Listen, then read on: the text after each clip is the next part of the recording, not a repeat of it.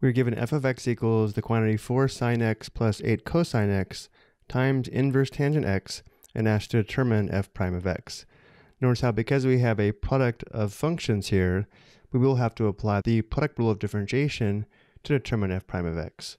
Or if we let the first function of 4 sine x plus 8 cosine x be equal to u, and the second function of inverse tangent x be equal to v, then the derivative of u times v with respect to x is equal to u times v prime plus v times u prime.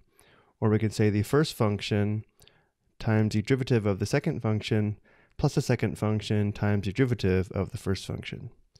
Which means in our case, f prime of x is equal to the first function of 4 sine x plus 8 cosine x times the derivative of the second function, which is the derivative of inverse tangent x with respect to x,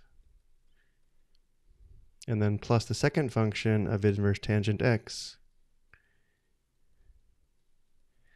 times the derivative of the first function, which is the derivative of 4 sine x plus 8 cosine x with respect to x.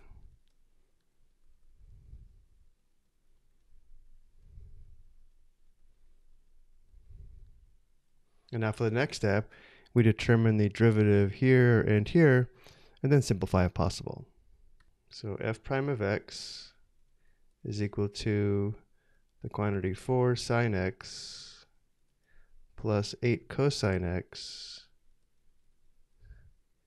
times the derivative of inverse tangent x.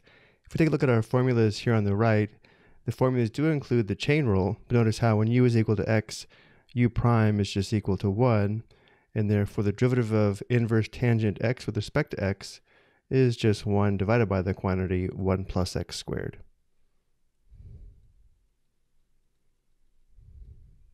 And then we have plus inverse tangent x times the derivative of 4 sine x plus 8 cosine x with respect to x, which is equal to 4 cosine x and then plus 8 times negative sine x, or just minus 8 sine x.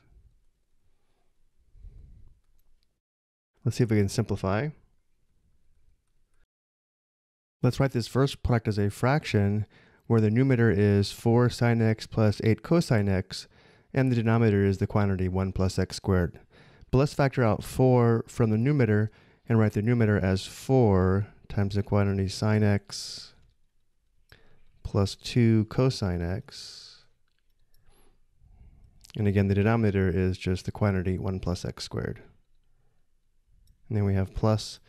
For the second product, let's factor out the greatest common factor of 4 from 4 cosine x minus 8 sine x and write the product as 4 times inverse tangent x times the quantity cosine x minus 2 sine x